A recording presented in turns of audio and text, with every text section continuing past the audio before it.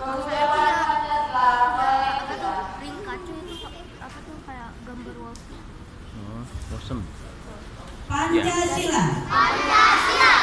satu ketuhanan yang Maha Esa. Dua kemanusiaan yang adil dan beradab. Dua kemanusiaan yang adil dan beradab. Tiga persatuan Indonesia. Tiga kerakyatan yang dipimpin oleh hikmat, Empat kerakyatan kebijaksanaan dalam permusyawaratan perwakilan. Lima, keadilan sosial bagi seluruh rakyat Indonesia.